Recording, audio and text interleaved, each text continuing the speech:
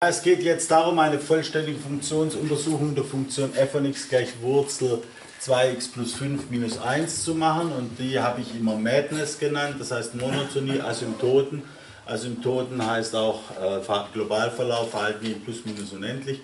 Ähm, Definitionswertebereich, Nullstellen, Extremwendestellen, Symmetrie und senkrechte Tangenten. So, was, mit was fange ich normalerweise an? Die Nullstellen sind meiner Ansicht nach immer das einfachste.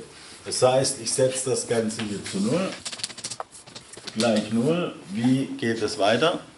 Ja? Plus 1. Jo, wir isolieren die Wurzel, ich addiere 1, also schreibe ich gleich gleich 1 hin. So, nächster Schritt. Ja? Denken Sie daran, dass Quadrieren keine Äquivalenzumformung ist. Das heißt, quadrieren, dann kommt raus x, 2x plus 5 gleich 1 zum Quadrat. Also erst die Wurzel isolieren, dann quadrieren. So, und dann löse ich das nach x auf und kriege e 2x gleich 2x gleich minus 4 oder x gleich minus 2. So, und dann habe ich hier die Nullstelle oder aber auch nicht. Was muss ich noch machen? Ich muss die Probe machen, weil Quadrieren keine Äquivalenzumformung ist. Da setze ich die minus 2 hier ein und erhalte f von minus 2 f von minus 2 gleich Wurzel aus 2 mal minus 2 plus 5 minus 1, das ist 0, das passt. Also wie gesagt, die Probe ist hier an der Stelle obligatorisch. So, das waren die Nullstellen. Jetzt kommen die Extremstellen. Was muss ich für die Extremstellen machen? Ja, bitte. Mal ableiten. So, und es handelt sich hier um eine verkettete Funktion. Die innere Funktion ist 2x plus 5, die äußere Funktion Wurzel aus g minus 1. Also schreibe ich das mal auf. Also die innere Funktion 2x plus 5, die äußere Funktion Wurzel g minus 1. Dann brauchen wir die Ableitung der jeweiligen Funktionen. Was ist die innere Ableitung? Ja? 2. Und die äußere Ableitung ist Wurzel g ist g hoch 1,5, das ist 1,5 mal g hoch minus 1,5. Ich bekomme also als erste Ableitung 2 mal 1,5 mal g hoch minus 1,5.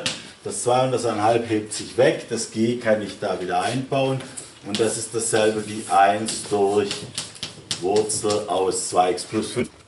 Ja, dann haben wir die erste Ableitung. Wir sehen, die erste Ableitung, die ist immer ungleich 0. Die ist immer ungleich 0, also keine Extremwerte. Die zweite Ableitung, das rechne ich jetzt hier nicht, die ist auch immer ungleich 0. Also das heißt, das schreibe ich irgendwie hier mal hin. Ist auch ungleich 0, also keine Wendestellen.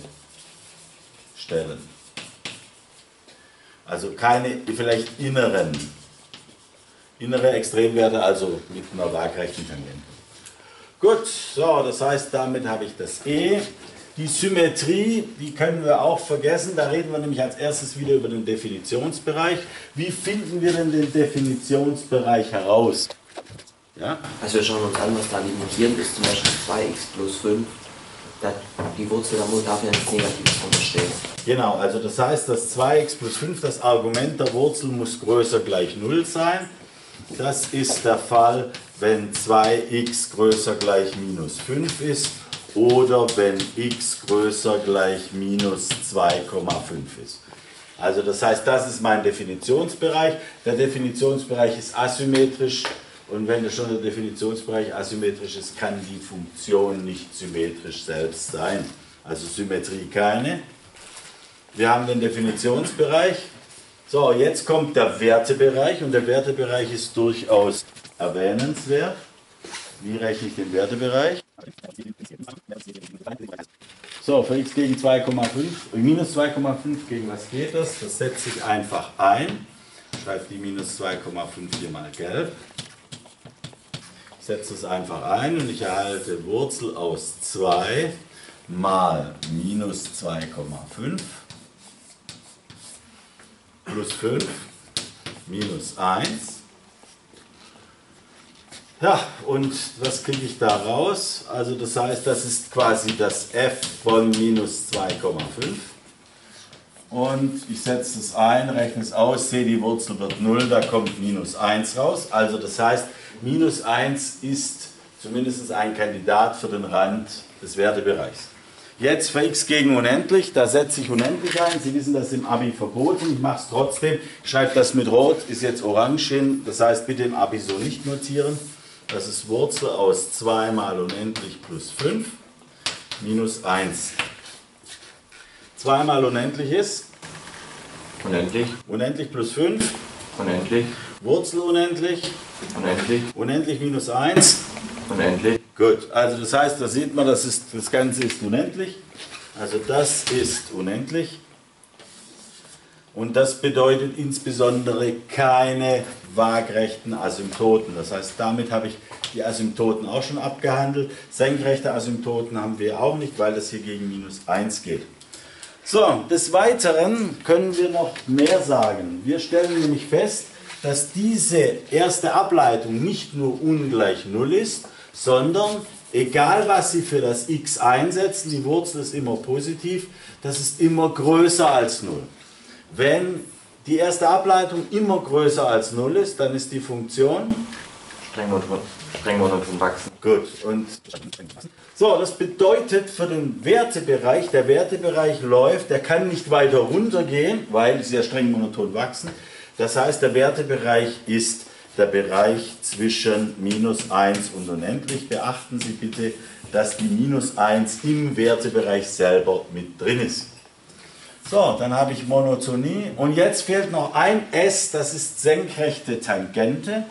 Tatsächlich hat die Funktion eine senkrechte Tangente. Ist die Frage, ob man das im Abitur braucht. Ich erwähne es an der Stelle. Und zwar, ich schreibe es wieder mit Rot hin. Ähm, das ist das F' an einer ganz bestimmten Stelle. An welcher Stelle haben wir hier eine senkrechte Tangente?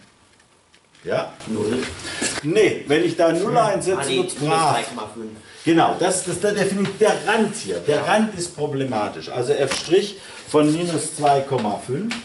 Wenn ich da die minus 2,5 einsetze, kriege ich raus 1 durch Wurzel aus 2 mal minus 2,5 plus 5.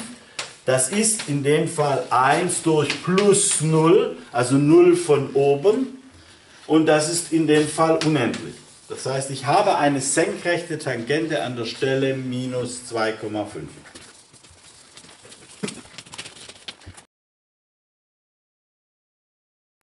Ja, es geht jetzt darum, wie aus dem Graphen von Wurzel x der Graph von Wurzel aus 2x plus 5 minus 1 entsteht.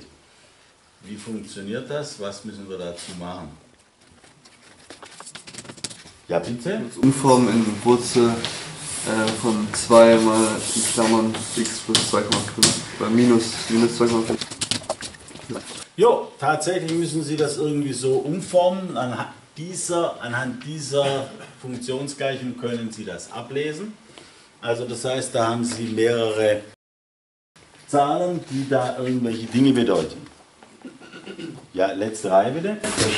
minus 2,5 und Ja, das ist richtig, aber es ist immer wieder etwas, äh, es ist immer wieder eine Frage des Zeitpunkts. Und was tun wir zuerst? Habe ich Ihnen gesagt in Klasse 10. Erst, Strecken. dann verschieben. Und das heißt, Sie sollten mit der Streckung anfangen, die 2. So, was bedeutet also die 2? Das ist eine Streckung mit das ist eine Streckung mit dem Faktor in Richtung. Und dann kommen Ihre Verschiebungen. Letzte Reihe bitte. Faktor 1,5 x. Ja, ganz wichtig, hier müssen Sie ein 1 durch 2 schreiben. Diese 2 ist quasi gelb. So, dann kommen wir zu minus 2,5. Das ist eine Verschiebung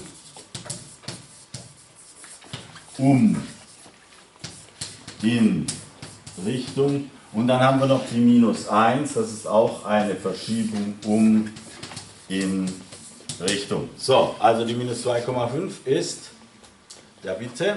Verschiebung um minus 2,5 in x-Richtung. So ist es. Oder Sie können auch sagen, um 2,5 nach links, das würde auch gehen. Und die minus 1 gleich mit. Äh, in y-Richtung. Jo, das ist dann eine Verschiebung um minus 1 in y-Richtung. Ich mache noch eine Zeichnung, dass Sie die Funktion, den Funktionsgraphen mal etwa sehen. Der beginnt irgendwo, geht dann hier so nach oben weg. Er beginnt im Punkt minus 2,5 minus 1. Dann haben wir kurz danach die Nullstelle, ich glaube die war bei 2, das, äh, bei minus 2, das heißt hier habe ich die minus 2 und irgendwie wandert das Ding dann noch so nach oben weg.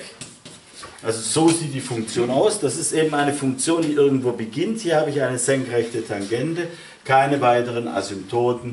Das ist etwa der Funktionsgraph hier.